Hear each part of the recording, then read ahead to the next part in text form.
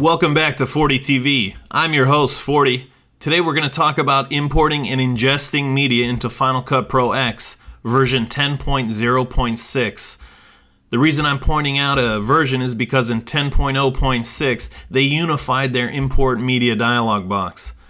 In prior versions there was an import from camera and import files dialog box. Now there's just import media.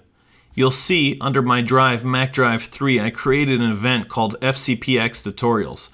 Go ahead and create one on your drive, uh, naming whatever you'd like, and select Import Media. It's going to open up the Media Import uh, window. Inside there on the left, you'll see the, the, available cameras. Right now, I have a Canon 7D compact flash memory card connected to a compact flash card reader connected to my computer. It shows up as EOS Digital.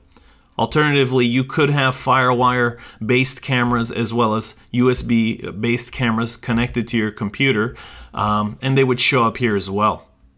Under the devices, it shows you all your hard drives as well as CD-ROM and DVD drives um, that have media that can be imported, any camera archives, which we'll talk about in one second, and any of your favorites. So if you traverse one of your device folders, you can add it as a favorite here in your favorites lists. So let's say I want to back up this EOS digital uh, compact flash card in one shot. That's what camera archives are for. I can come down here to create archive and when I do so it brings up a dialog box. Well the footage on this camera are flowers so I'll go ahead and call it flowers underscore in today's date which is 1201 2012 it allows you only to select a destination drive, and that's because it puts it in a, a preset folder so Final Cut Pro X knows where it is. I'm going to go ahead and uh, leave it at the default uh, of my main drive line and click OK. When I do so, you'll notice it's creating an archive here, and there was a little uh, clock, if you will, circling. When I click it, you'll notice that uh, it doesn't show up. This is a strange bug, but usually it should show the same listing. I'll show you one workaround that I found uh, that allows you to show this media. So if you traverse to your user's home directory, the movies directory, you'll see that there's a Final Cut Camera Archives folder. Inside there you'll see the camera uh, archive. If we want to see what's inside this, we can right click and go to Show Package Contents and it will be just the same as my uh, compact flash card. And you'll see all the videos listed here.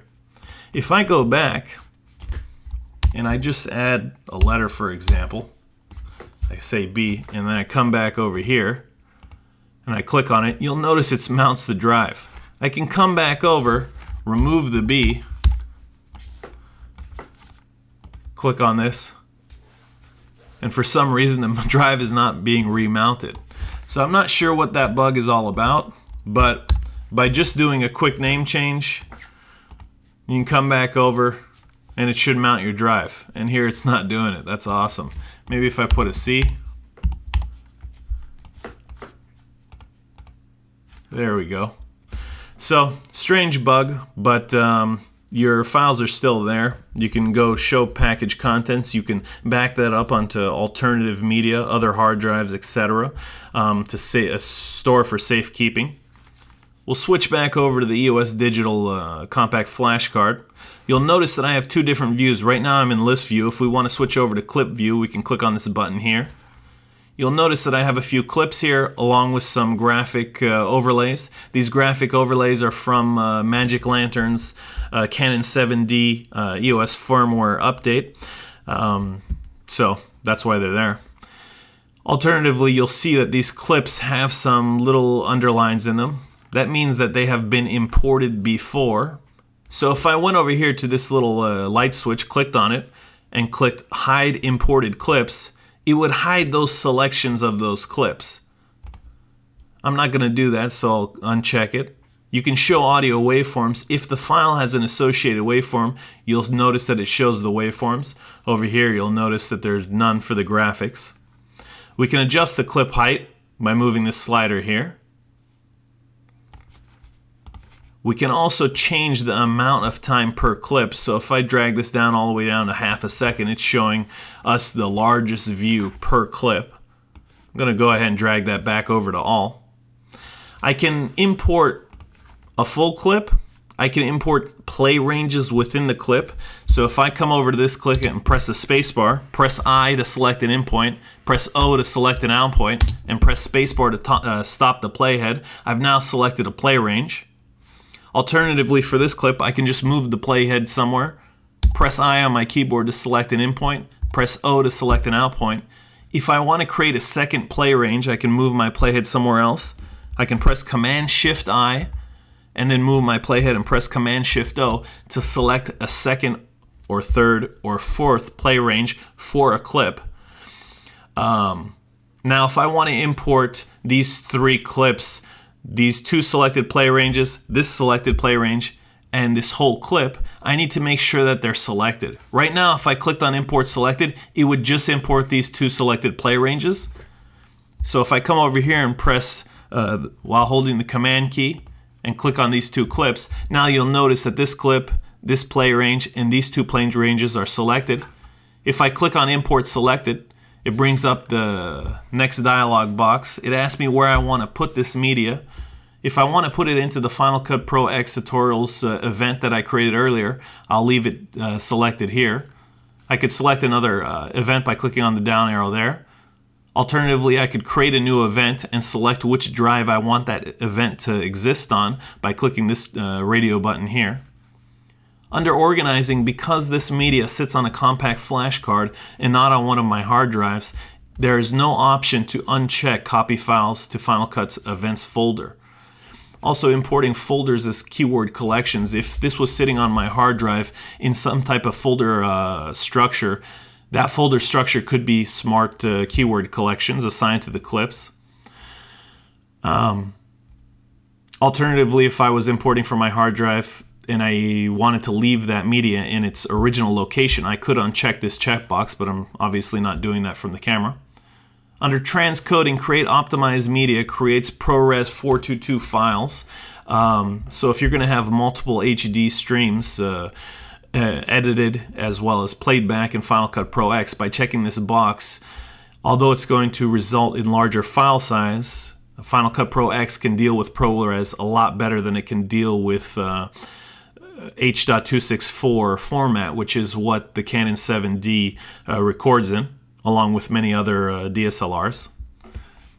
Create, uh, create proxy media. So even though uh, Final Cut Pro X can deal with ProRes 422 quite well, if you're using multiple streams and your system isn't too beefy, then creating proxy media creates um, the proxy version of ProRes 422, which is a much smaller file size. It, also, the quality is not the same, but remember, this is just being used for playback within Final Cut Pro X. When you uh, ultimately render your timeline, you'll be rendering your timeline and referencing the original media that was copied from your camera or card. Next you have video and audio options. You can remove pull down if there was pull down in your footage. You can analyze for balanced color. I typically don't do that um, because I don't use balanced color in uh, Final Cut Pro X. However, um, you can always do this after the fact anyway, so it's a good idea to leave this unchecked. If you want to analyze for balanced color later, you can do that. If you want to find people, what find people does is figures out how many people are in a shot and then creates uh, smart keyword collections uh, based on that. You also see in under audio you can analyze and fix audio problems. This can also be done after the fact, so I usually don't have that checked.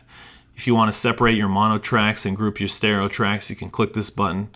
And if you want to remove any silent channels, so let's say your camera records four mono signals and only one of those signals was being used to record, then this can remove those empty four, uh, three audio tracks.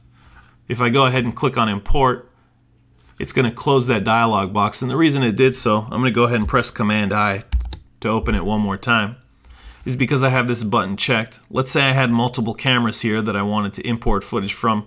Um, after I finish with one, if I had this unchecked and I clicked on import, then I could continue working in this dialog box. I'm going to go ahead and press the red button to close it. We'll notice over here that I have the four clips here in my timeline.